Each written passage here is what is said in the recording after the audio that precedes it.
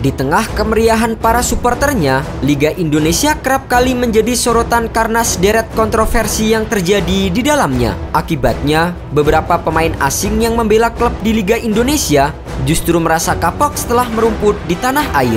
Dengan berbagai alasan, mulai dari kompetisi hingga masalah internal tim, membuat sederet pemain asing enggan untuk melanjutkan karirnya di Indonesia. Dan berikut adalah lima pemain top dunia yang kapok main di Liga Indonesia.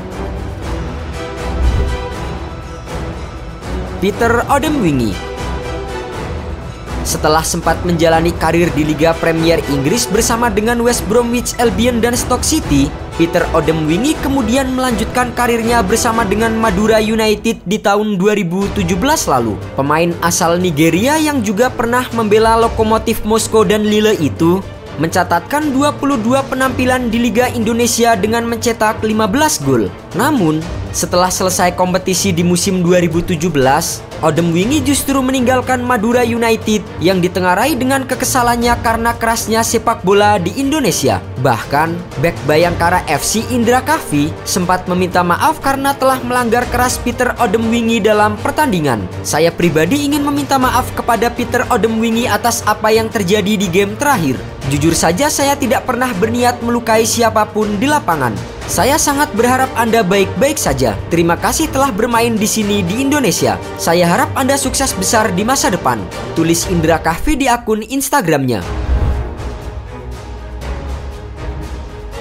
Bau Bakar Sanogo Bau Bakar Sanogo secara terang-terangan mengatakan bahwa ia kapok bermain di Liga Indonesia. Pemain asal Pantai Gading yang pernah merumput bersama Hamburg SV, Werder Bremen hingga Saint Etienne pernah membela klub Madura United di Liga Indonesia tahun 2017.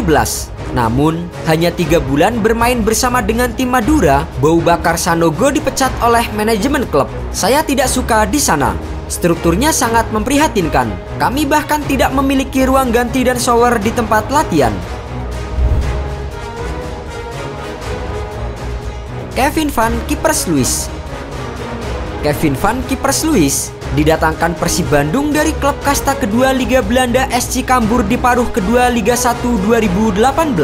Namun, keputusan salah ternyata telah diambil oleh penyerang berusia 28 tahun itu. Tampil sebagai ujung tombak tim Maung Bandung, Kipers Luis gagal menunjukkan taringnya dengan hanya mencetak 2 gol dalam 15 penampilan.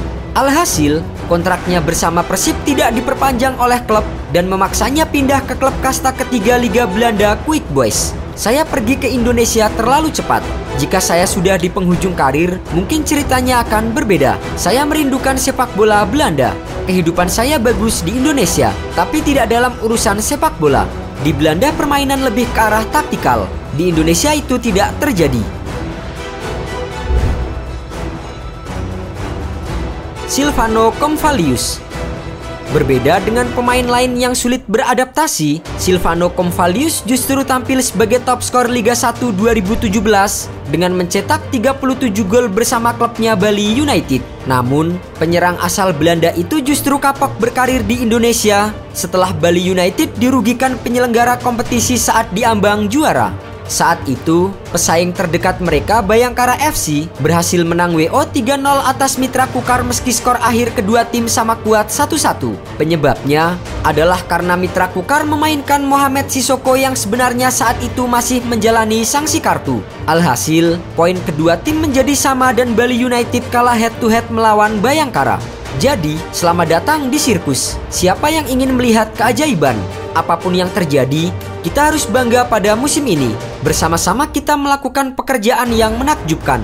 Mari berharap dan berdoa untuk akhir yang lebih baik. Tulis Convalius di media sosial Instagramnya saat itu. Carlton Cole mantan pemain timnas Inggris, Carlton Cole pernah memperkuat tim Persib Bandung di Liga 1 2017. Nama Cole gagal beradaptasi dengan klubnya hingga akhirnya ia dicoret oleh manajemen klub Persib Bandung.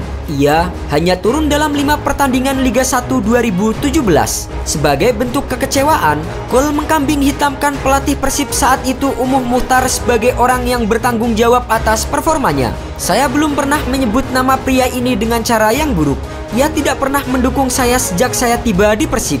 Saya belum pernah diperlakukan dengan adil, tetapi saya tutup mulut dan bekerja keras serta menjaga semuanya tetap profesional.